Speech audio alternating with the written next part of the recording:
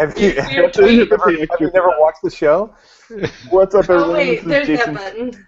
What's up, everyone? This is Jason Tucker. This is WP Water Cooler, episode number 149. Today's topic is Steve's favorite one, which is optimizing WordPress for shared oh, hosting. Oh yeah. Let's go around the room real quick and get everyone introduced. We go in alphabetic order. Dave, Jesch, tell us about yourself.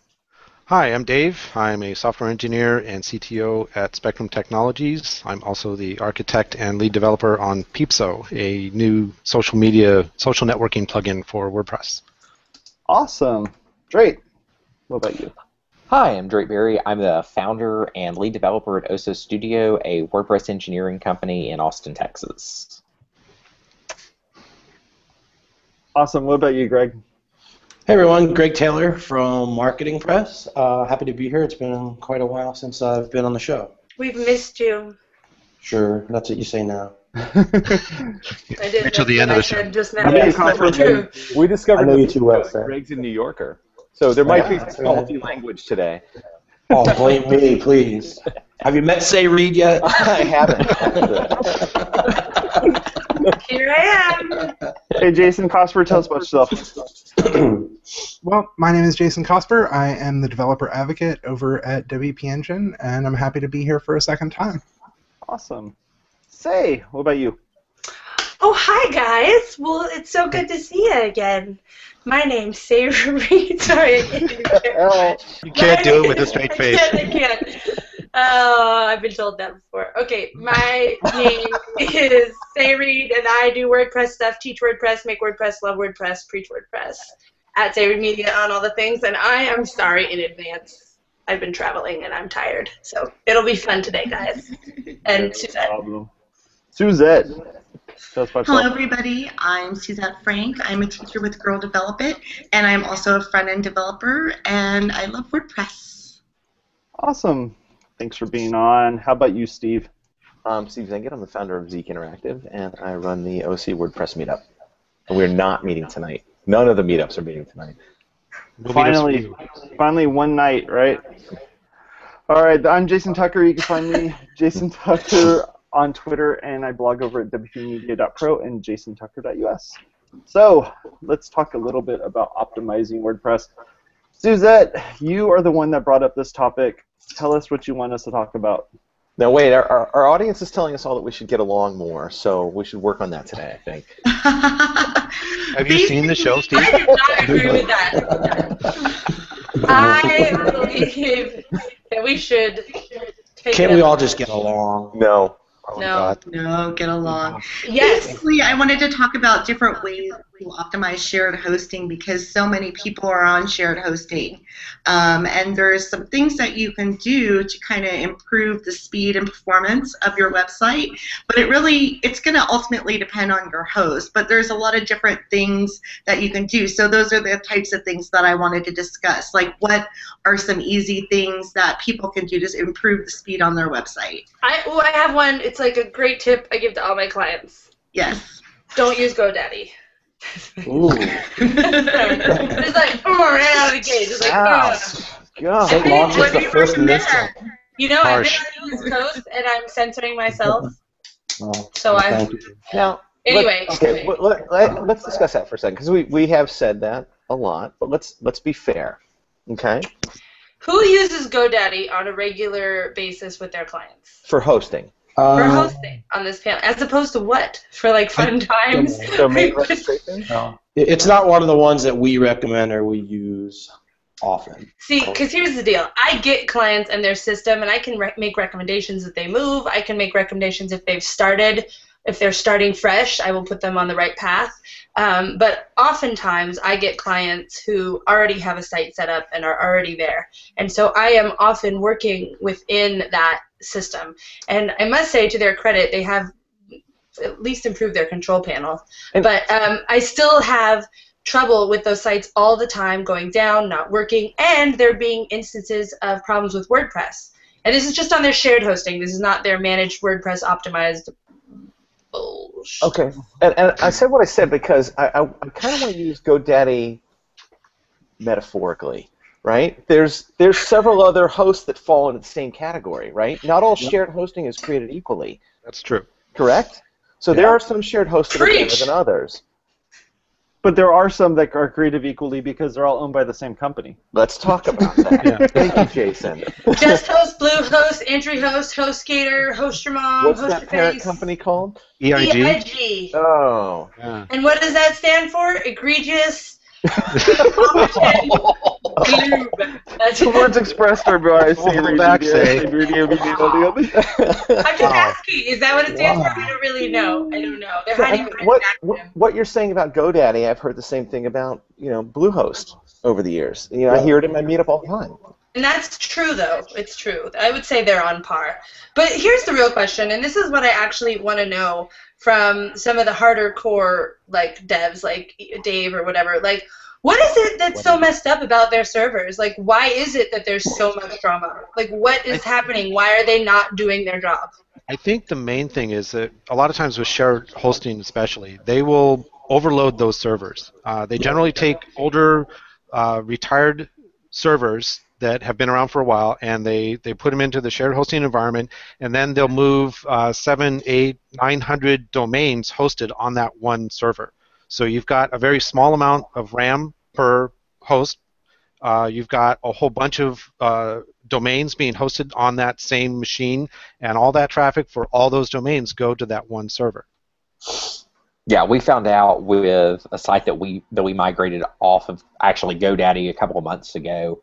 Uh, whenever we were trying to figure out what all of the issues were that they were having, downtime and everything else, uh, we found out that they had over a thousand sites that were being hosted through that same through that same server that they were Yeah. trying to that they were trying to use, and it was just it was a mess. That'll do it. How did you find that out? Um, we finally just kept calling and calling and calling their support and kept getting escalated up to the next highest level. And finally, they came out and they were like, "Oh, well, this is what's really happening there." Wow, you got an Nice. honest answer. That's impressive. I Yeah. found that if you call back repeatedly to GoDaddy, you will eventually end up at the right answer. Mhm. I mean, I'm Someone not sure will pick what up that was has really it. going there, but I got the answer that I needed at the time. then they were promptly fired. Okay, so in our community, what's a, what's a decent shared host?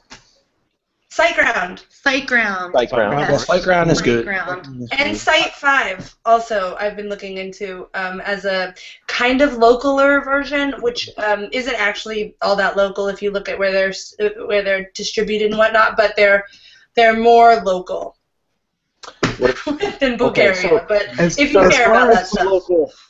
So as far as shared hosting goes, I, I also um, I don't know how the rest of the panel feel about this, but um, DreamHost I've always had some pretty good success with them. Uh, they tend to employ people who are in the WordPress space who kind of know and optimize and stuff like that who can, who can help out. I absolutely. see, I've I've um I, I really appreciate the quality of the people and, and the amount of time that DreamHost allows its people to spend in the WordPress community, and they that means that they will help you and whatnot. But I've actually had I haven't used them in like maybe a year or two. But the reason I haven't used them is because I had so many difficulties with sites on DreamHost. So they may have gotten better, and they are a quality company in their desire to help and their willingness to help, and they're also local. But I haven't necessarily had the best experiences with them, but they are people I'd be willing to give a second chance to. So what about InMotion? I've never used InMotion. I never used them either. I, I haven't used them for shared hosting, but I do have a, a VPN. Okay, and so how are you defining shared hosting? Is is the the basic package you get, get at WP Engine? Is that shared hosting? Um, so um, as far as that goes, They're not going to call it shared hosting. It's it's not shared hosting. It is managed hosting. However, it the environment is shared amongst several customers. Right. Um, a lot of the managed hosts with kind of the lower priced plans um, do do some little bit of sharing, um, but they definitely add some kind of managed touches that take it a step above that. Well, GoDaddy has managed hosting uh, for WordPress also, and I am 100 per, well, I can't say I'm 100% certain, but I'm 99.9999% that that's, you know, straight But up just their shared stuff in a controlled environment. Doesn't shared describe the technology and managed describe the support?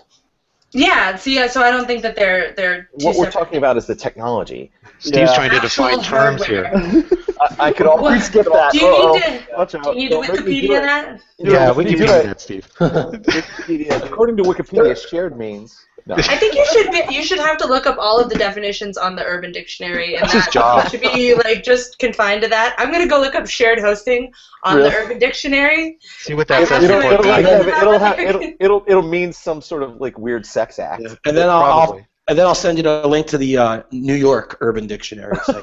I So can see I can see Jason panicking right now. Steve, this, this is perfect though. So there, there, there's actually a few different types of shared hosting. Then, so you can have, you can have like a, you know, VPS that's running on a shared piece of hardware, actual hardware with multiple, you know, multiple instances of an operating system running on there.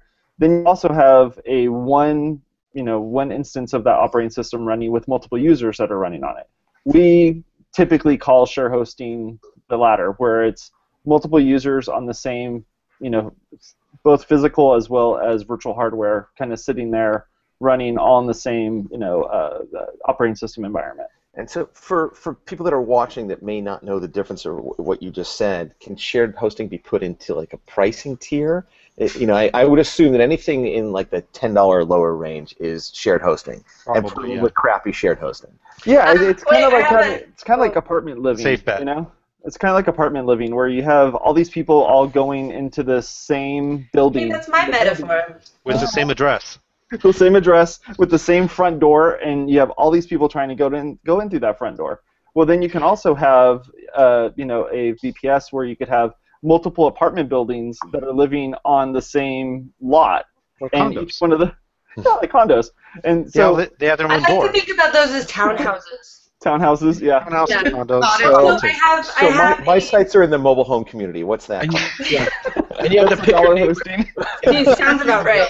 You guys, I have um, I have two things to say. First of all, the name of EIG is Endurance International Group. Okay. Only two things. Second of all, they bought Site Five. I was just informed. Thank you, AJ Morris. And uh, that is no longer something that you should so pretend I never said that. Okay. Said what? Aw. And this is actually the problem with hosting is that hosting companies are eaten up by bigger hosting companies pretty much continually. So it's really even hard. You know, like EIG's got these all these separate brands that It's they're amazing actually how the many same. they have. They have so many, and they they they ruined HostGator, and HostGator even admitted to me at one point that their their service went completely down. Like at a conference I was at, they were like, "Yep, it was terrible." Um, I but used to use HostGator and I moved away.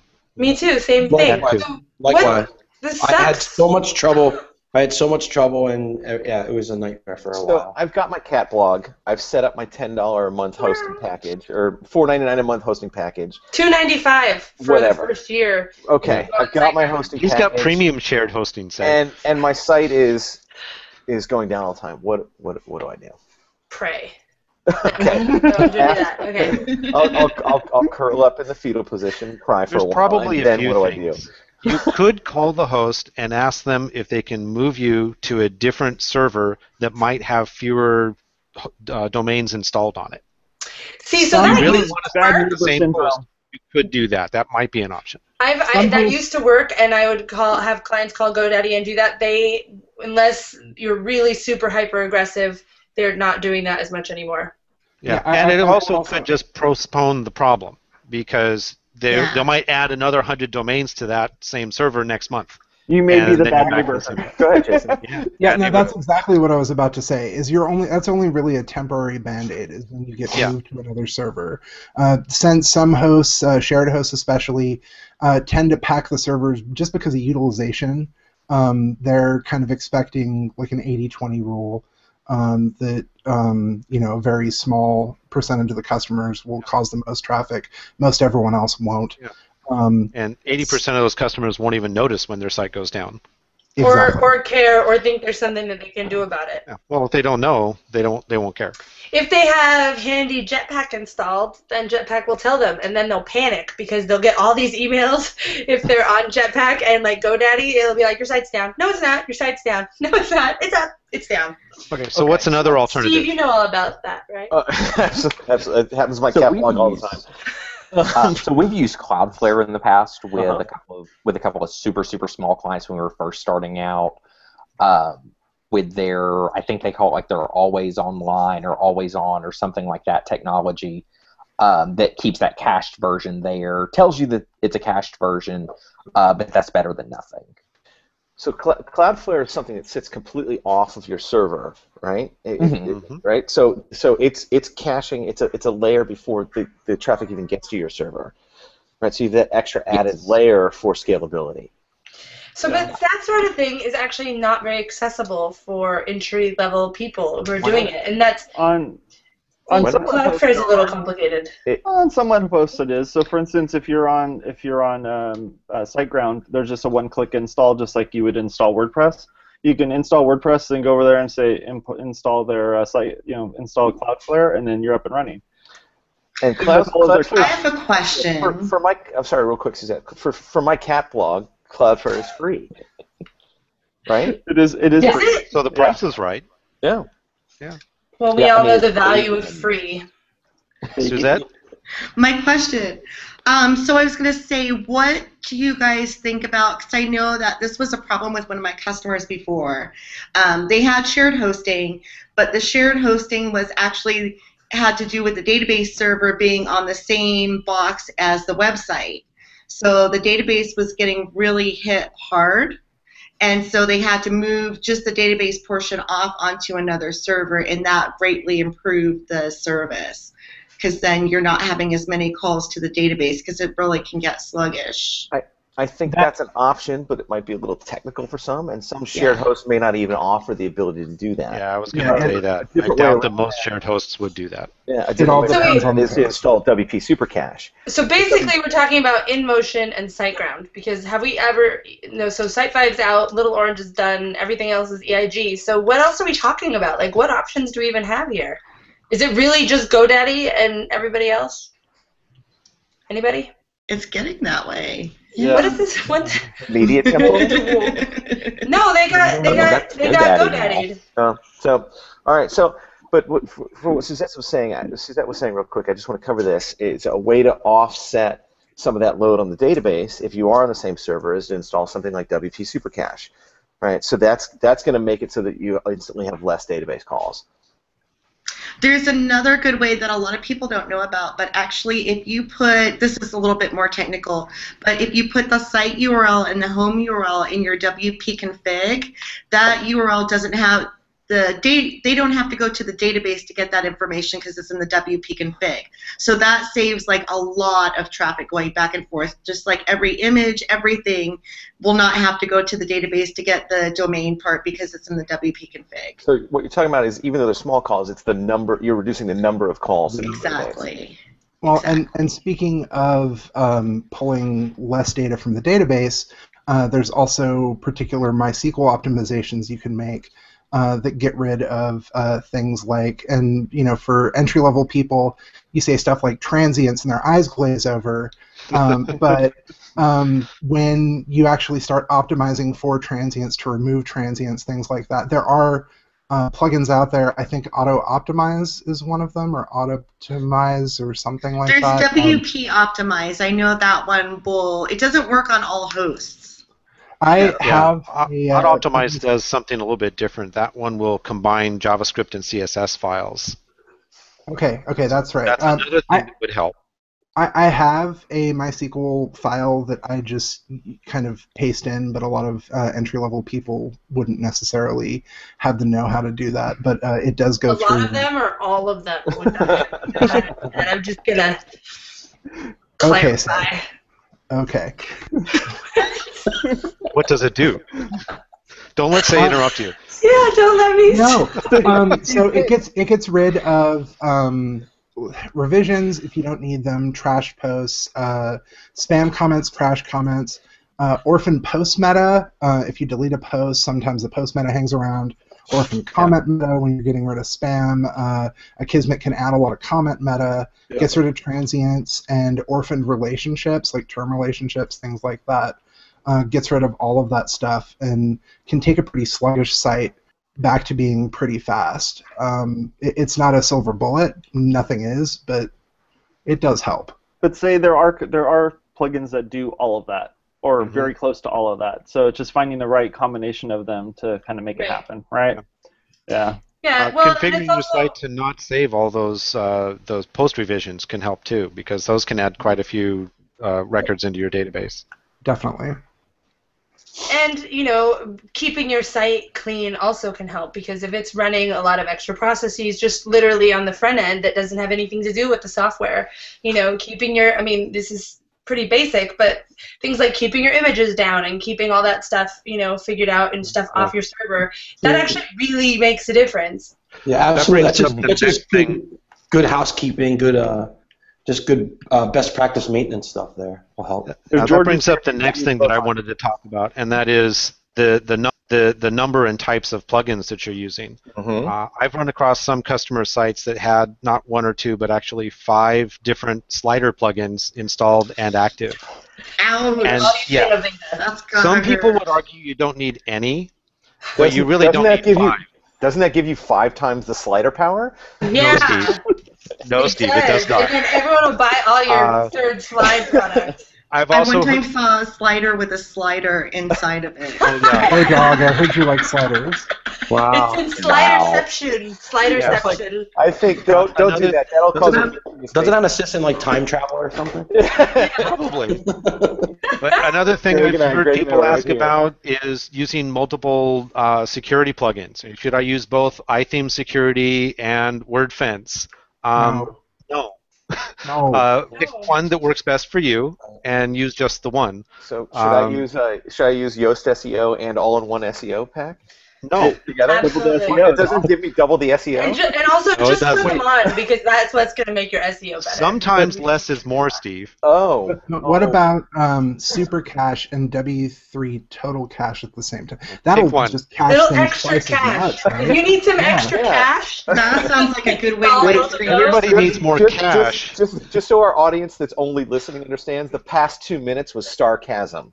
Yes. sarcasm. Sarcasm. yeah, sarcasm. It's Yeah, Iron you, Man. you only need sarcasm. one caching plugin, one security plugin, one optimization plugin, one slider plugin, if that. Wow. Um, yeah. So Actually, I argue that you don't need any slider plugins. if you need a slider that. plugin, if you need it, No, I think, one. I think need. I think let's discuss the difference between needs and wants here, Dave. okay. Yeah. When do you Sure. need a slider? But some people think they need. All right, I'll give you that. I'll give Yeah. you that. Yeah. They, you know, or, Anyway, my point is, pick one. Mm-hmm. Use one. pick one, pass it on. and so what about what about a plugin like um, um, uh, Smush It or something that that uh, reduces the sizes of your images? They're good, but they run heavy on the server, so it's better to do that offsite and not use your word, abuse your WordPress and make it do things like that. You can also, uh, if you run the Jetpack uh, pack of packs, The um, Jetpack. the the Jetpack Pack, pack That like the gauntlet? Jetpack pack. Um, The if you run the Jetpack pack and Just you like do Photon, that can help you as well as far as images go, and that's you know already kind of built in, so that's nice. You could do that in Cloudflare as well. You can actually turn on the option to be able to do all of that stuff. So do Why are you progressive, so JPEGs. It, it does all that stuff built into it. Yeah, it's pretty. neat. Uh, It's. Jetpack will also uh, optimize your images, and if you're viewing on Chrome uh, with uh, their Photon service, will serve uh, WebP images, which are optimized, compressed down, in addition to. Uh, so it'll actually replace the images that get served to. And really, what we're talking about is is decreasing the amount of bandwidth that's coming from your web server. Yeah. Yes. Reduce the And load on if your server. Jetpack, just for the record, as a little side note, if Jetpack's uh, design team, he's not on at the moment, but uh, ever got together did, you look, and re- did you look down in the like in the? It's You just here. did. with your No, I was looking at the eyes. I was like, "Excuse me." Um, no, uh, if they could do a little something, something with their slider, and then if you had Jetpack, you would already have a slider as a gallery option, so you wouldn't need all this extra stuff. The only problem with that is that their slider is really, really ugly. So other than that, it's It is fine. kind of ugly, yeah. Really ugly, and it's completely non-configurable. And I think I'll write a note about that to somebody. Get on that. I'm So I'm, so I'm running a BBS on my Apple II Plus, and I want to put that on shared hosting. Which one should I pick? Your mom. Uh, Is that for your cat? You see how we none of us even except me can provide that with an answer. Everyone's just like, come on. shut up, Steve. Shut up, Wait, are we supposed to have a certain amount of bickering in the show? Yeah, Uh, it's, it's not supposed according to to our audience. bigger. Oh. I think It's supposed we've be at least seventy-five percent. Kumbaya, my Steve. Kumbaya. All right, so we got five minutes left. What, what what are some of the things that people should be looking at? Just if they were to load up the dashboard, look at it and say, "What I can change these three things because you know these guys said here's the things we should change." What what what are those three things? You're hosting. Is there a button in the Load that dashboard to do that? project. Yeah. Look, and I'm, I'm, I'm being, I'm actually being half serious here, right? If you're, if you're paying five bucks a month for hosting, You get what you pay for. and, and, and you're running a serious website or a serious business, something's Yeah. wrong. Yeah. Well, I don't necessarily think so because it depends on your your business goals. Like, so if you're really just like a retail shop, you're not selling it like in uh, brick and mortar, mortar, mortar, Mordor? Mordor. That's easy for you to say. brick and mortar. Um, is, uh, if you're like just doing that and your site is really just a uh, you know just got basic it's basic marketing stuff you're not running any heavy things on there you're just blogging whatever i think that's something you can use as a startup just to How- get yourself going how and to get yourself Well, wait. How, eh, that's all true, but how important is your uptime to you?